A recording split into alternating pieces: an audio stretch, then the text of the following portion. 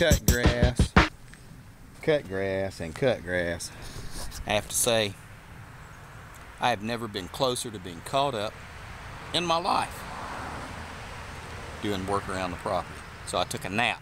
Now I'm so far behind it's even funny. Uh, that's the way it is. Um, the pump house, as luck would have it, uh, before I got ready to do the pump house, we had some bad wind come through. Tree limb came and fell on one of the posts. So I got to put another post in. I got the post, just got to dig it up and put in another post. How about that for luck? Glad I didn't go ahead and build it. That would have been sad. But did want to show you something I got. This is kind of like a product review, I guess. Broke down and bought a brand new camp stove as well as a camp kitchen and a pantry. We are getting ready to go do some camping. And for years I've had the little bitty two burner Ozark Trail uh, propane camp stove, which has served us so well uh, and done really well. And we're getting ready to go do some camping uh, in a week or so. And we thought, well, why not, you know, go through all our camping gear, see what we need, see what we can upgrade, and and use uh, what would make it a little better, what's getting wear, worn out, and you know, even even and again, this is you, you know, this is another way to cook if you're outdoors. So this goes along with a prepping thing, if you are so inclined to call it that. We always just kind of called it camping, uh, but it's a Triton made by Coleman. Um, 22,000 BTU, so each burner is 11,000 BTUs. Uh, it says that both burners on high will last one hour on one tank of uh, fuel, 16 ounce uh, tank of propane. So it's pretty good. You can use regular, uh, you know, regular size uh, skillets and everything with this. It's really cool. Um, it was a little bit pricey. I want to say it was like 79 or 89 dollars, but um, it's great. Uh, the last one I had, that Ozark Trail, I've had it for 15 years probably, and it's starting to rust. So, I mean, it's not bad. So now we have two stoves, and we're going to carry both uh, because we, uh, when we go camping, we cook. Uh, we like to eat. Um, we'll throw up some. Uh, uh, we'll, I've been known to take a, a unit and a flat screen TV, and we'll watch movies all night long in a tent with air conditioning. That's just kind of the stuff we do. I've done the minimalist crap, and I've hiked all over the Smoky Mountains with a, you know, 18, 20 pound backpack. It's fun, uh, you know, sleeping on the ground or in a hammock. Uh, no, not anymore.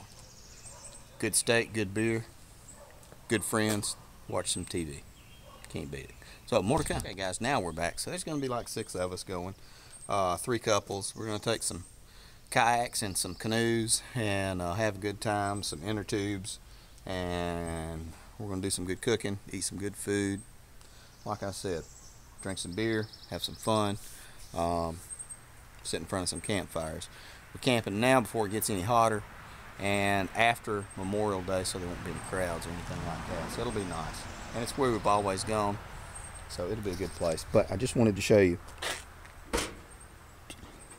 this Craftsman, I'm sorry, this Coleman Triton. Can't beat it. The nice thing about it, it's an electric start. Most of the stuff I always have has just been the regular, you, you know, you have to strike a match and light it. See if I can do it one-handed. Oh.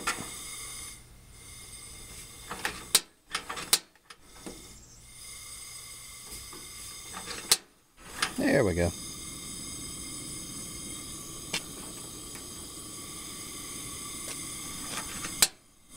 There. So, light's pretty good. I've already heated it up to burn off uh, uh, the oils and uh, and kind of cook the enamel so it won't have that funny taste or funny smell in any of the food. Should be pretty good. So, like I said, it's a nice upgrade from the uh, Ozark trails when we have. Oh, and this, this camp kitchen, uh, it's actually separate. It's uh, also an Ozark trail. Comes a little pantry, drying sink, and a little wash tub. I want to say that was 79 or 80 dollars. I know it was kind of a added expense, but it was just something we thought was kind of handy um, because I always took a bucket uh, to wash all the dishes in and this will be nice for paper plates and everything. And so it's going to be kind of cool. So I might post a link where you can get it. Uh, the Amazon store is almost up and running. Um, it'll be kind of interesting uh, to see to see about that. So I, would appreciate your input on it as well. Uh, basically, what you would do is you go to Amazon, put in a code, and buy your regular crap. And that's it. Percentage of it will go to uh, uh, help keep the lights on and uh, pay for the videos. So who knows? It may work out. I've got a lot more camping stuff we went and splurged on. I'll be doing a few more videos of those in the next day or two just to uh, get them out and get them going. Thanks for watching and thanks for subscribing guys. Y'all gonna make some mayhem.